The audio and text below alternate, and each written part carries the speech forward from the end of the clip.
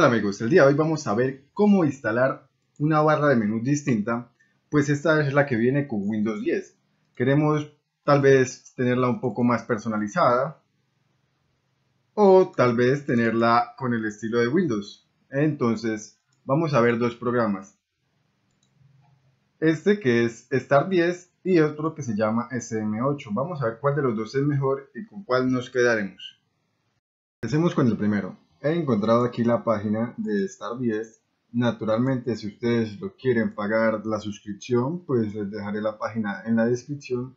Pero pues lo que nos importa es el archivo Mediafire gratis. Lo que vamos a hacer es descargarlo. Esperamos a que se descargue.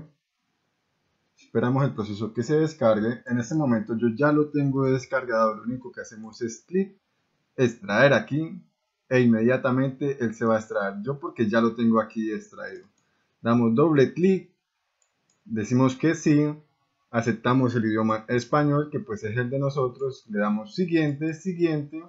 En este caso me dice que ya no lo puedo instalar porque ya lo acabé de instalar, pero pues terminamos en siguiente. Abrimos el programa.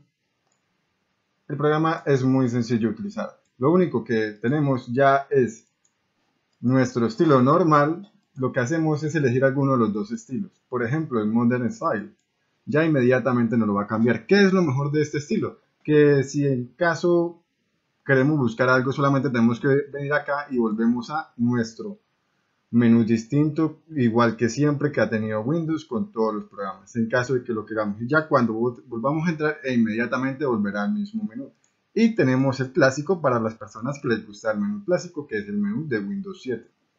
Otras cosas, otras mejoras que tienen es, por ejemplo, veamos acá, el poder elegir un icono, por ejemplo, Domo e inmediatamente nos cambia el icono de inicio.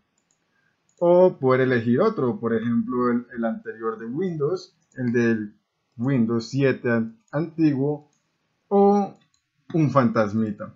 Ya cada quien elige.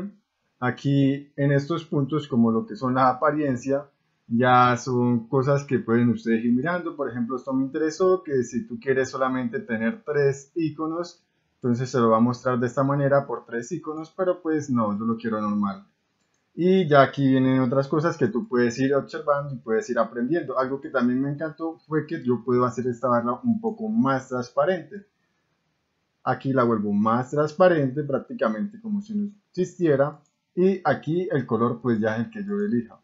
La textura que yo pueda elegir o que yo quiera elegir también puede ir cambiando. Ya ahí sí, ya es como tú desees y lo que a ti te guste.